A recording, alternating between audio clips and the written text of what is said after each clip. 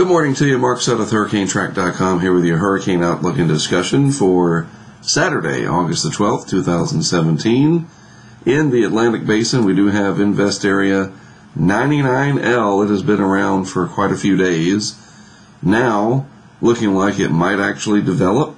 60% chance in the short term, next 48 hours anyway. 70% chance over the next five days.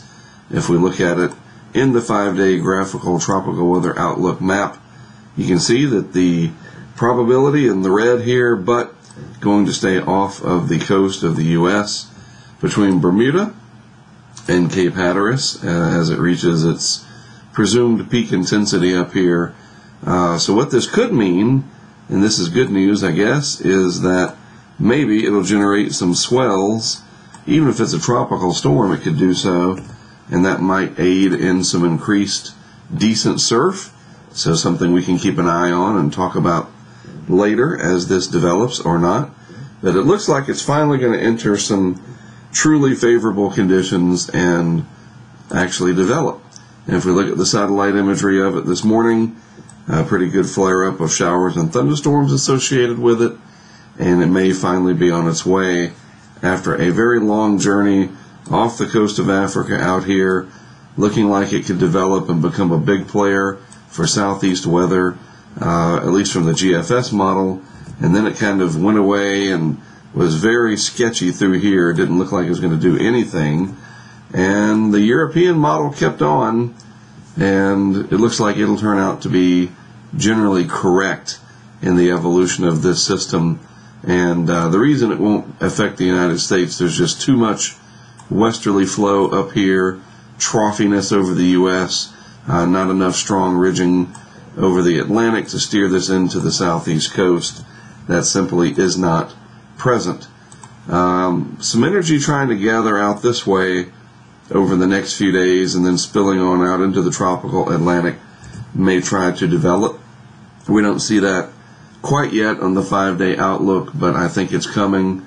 Uh, anything showing up on the GFS, and we're going to look at that in a minute, is probably going to be looked at with some pretty deep suspicion from here on out, since the GFS has been full of false alarms. But we'll get to that in just a little bit.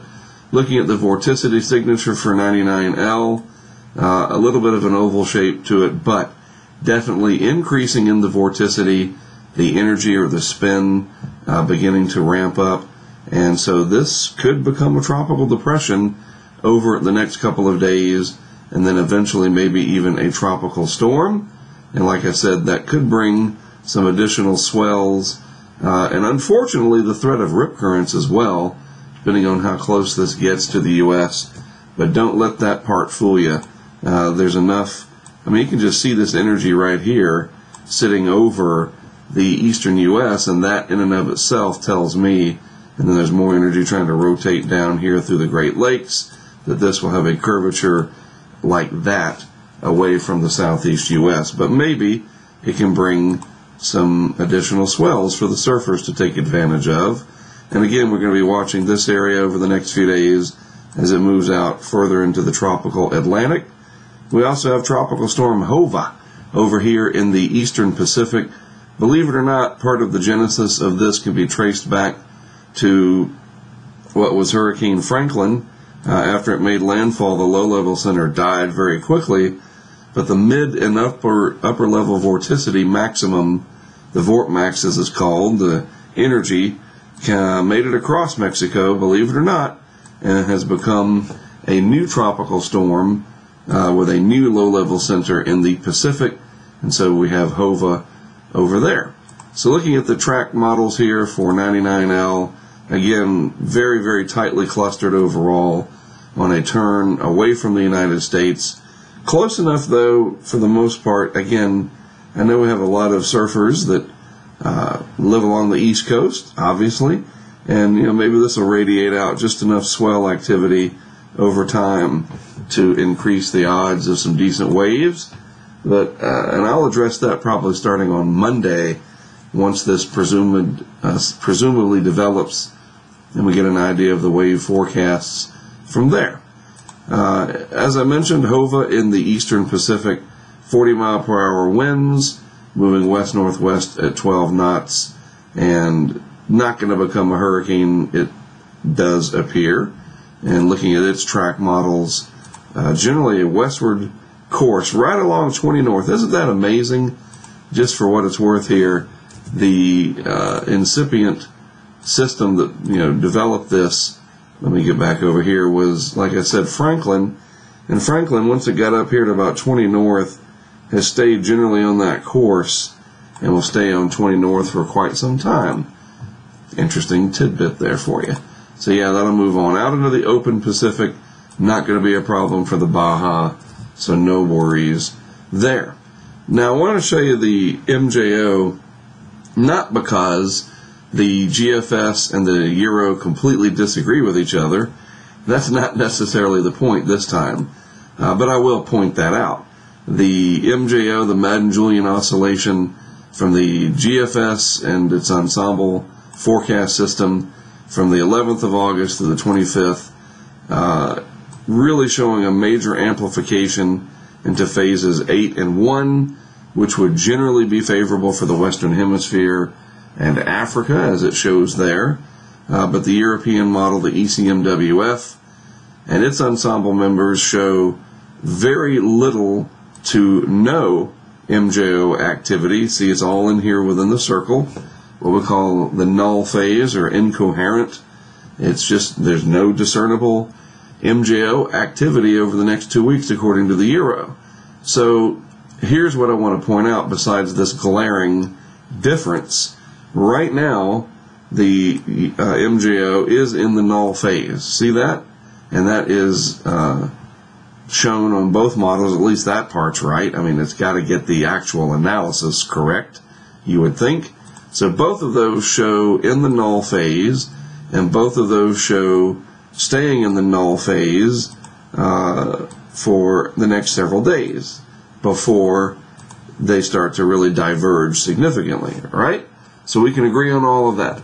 So, despite the fact that there's no MJO activity, and even though the Euro shows that remaining the case over the next two weeks, then it strengthens my argument the other day, maybe it was yesterday, I don't even know, uh, that, hey, look, this is going to develop, it looks like finally, and there's no MJO activity, and we have Tropical Storm JOVA in the Eastern Pacific, and that is developing in the absence of an MJO.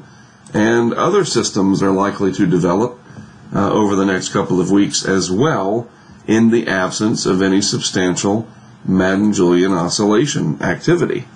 And so that just shows you that this is not the trigger that guarantees development. And if we look at the GFS for what it's worth, you never know, right? It might not be worth anything. Over the next five days, uh, we do see some energy gathering down here in the deep tropics again, south of this large ridge. And within just a few days, it starts to close off and become more organized. And for what it's worth, the European model does show this as well, generally speaking, and maybe some of the other models as well. I didn't poll all of them, but uh, by the end of the period, at the end of the five days, you know, the GFS once again advertising a tropical system somewhere in this vicinity, and that too in the absence of any upward motion on a large scale. Even over the next five days, the aggressive uh, GFS ensemble system really not showing much. You know, these are each one of these is a day, and there's just not much there. So, you know, just kind of pointing out that you do not need an active MJO to get development uh, anywhere around the globe. It's just part of it. It's not everything. And by the way, there is the reflectivity for 99L. Not very impressive, but we shall see. Yeah, what happens. Certainly looks like it's trying to get there via satellite. So that's about it for today. Nothing major to worry about at all. Um, and again, maybe the good news here is that the system, when it develops, assuming that it does, uh, will provide some surf for the East Coast. And seriously, once we get into early next week and that begins to materialize, we also need to emphasize the possible risk of increased rip currents along the eastern United States. Also, coming up on Monday in a separate update, I'm going to talk about the eclipse that's coming up on the 21st. As of Monday, it'll be a week away, and we'll look at that separately. Like I said, it'll be a an off-topic hurricane outlook and discussion, not just an off-season or whatever. I do those, you know, from December through May. But that eclipse is going to be a pretty big deal, obviously, and I do want to talk about it a little bit. And uh, there is some relationship to, you know, the hurricane season. What if there's a hurricane? Hey, that would be pretty amazing to something that's already pretty amazing. And we'll talk about that as well in a separate update on Monday. Have a great rest of your Saturday. Thanks for tuning in. That's it from me for today. I'm Mark Sudduth, HurricaneTrack.com. I'll have another video discussion for you tomorrow.